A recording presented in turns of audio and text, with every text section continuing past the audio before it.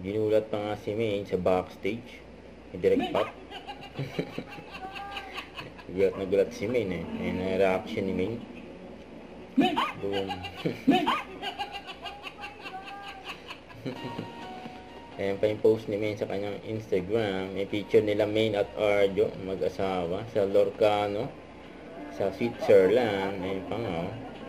May sweet pa nga nila, oh.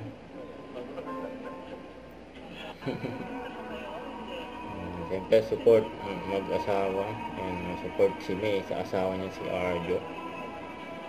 Ayan, sa Team Topak. Ayan, congrats.